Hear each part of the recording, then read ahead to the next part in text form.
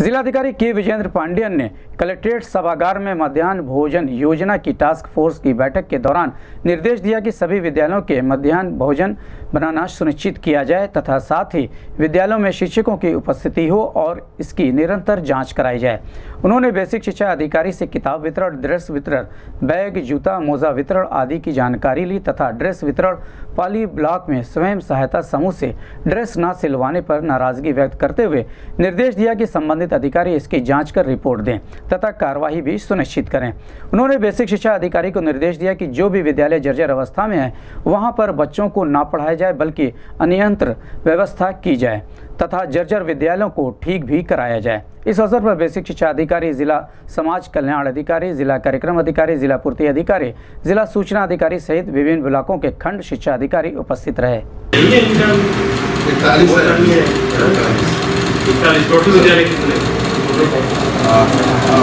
एक सौ तिरालीस one forty three one forty one forty three one forty three में जो कितने हैं ये है इस समय में जो तीन दिन चार दिन पहले अ, सोमवार को मुख्य सचिव साहब ने वीसी ली है उस समय में आपका सचिव मैडम को मांगा जा रहा है तो अ, इस साल पुरानी बना हुआ two fifty two fifty seven ठीक है जर्जर है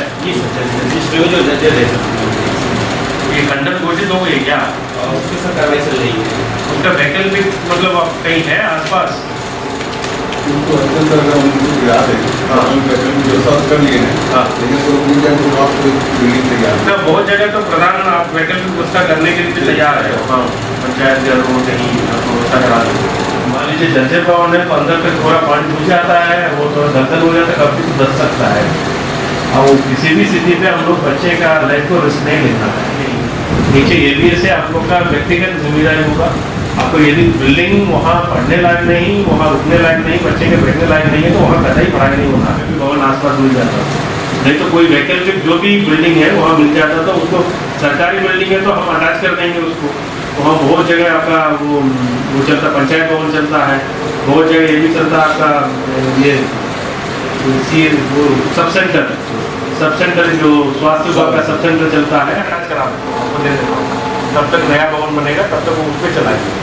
बट बच्चे का रिस्क नहीं है। फिर इनकेस नहीं है प्राइवेट में भी कोई ज़मीन मिल रहा तो वो किराए को ले लीजिएगा, हम किराए का व्यवस्था कर देंगे प्रधान से कहते कर देंगे, हमारे पास तमाम मत है किसी मत पे भी हम किराए का व्यवस्था कर देंगे कोई इशू नहीं। तो किसी भी सूरत में बच्चे रिस्की एटमॉस्फेयर में नहीं होना चाहिए। कहाँ कहाँ शौचालय बनी हुई है सब एक्टिव होना है। आपको दफ्तर में बनी हुई शौचालय, वो भी प्रयोग लायक होना चाहिए था। कहीं सार्वजनिक जगह पे आपको स्कूल में बना हुआ है, कॉलेज में बना हुआ इंटर कॉलेज में बना हुआ, सब एक्टिव होना चाहिए था, प्रयोग लायक होना चाहिए तब ये जनपद को हम खुले में सोच बुक डिक्लेयर कर सकते हैं। फिर उसके बाद सभी गवर्नमेंट टीम आती है, तमाम टीम आती है। आप लोग ये ताला लगा के रखते हो, नहीं तो गंदगी की वजह कुछ भी करते हो मतलब कुछ प्रयोग नहीं है, लायक नहीं है, वो रिफ्लेक्ट होता है, पूरा रिपोर्ट